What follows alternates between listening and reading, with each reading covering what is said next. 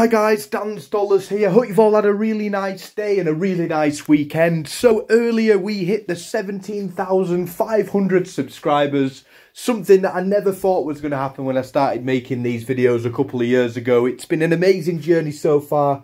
I really don't know where it's going to go. The subscribers are flying up, people hitting that join button. I really cannot thank everyone enough for all of your support. People sending things in, Steve Yates, Andy Vickers for giveaways, so many more people as well sending gifts in. I really would love to give you all a shout out, but we would be here all night. And again, I cannot thank you enough. The family that we're making on the channel is incredible as well.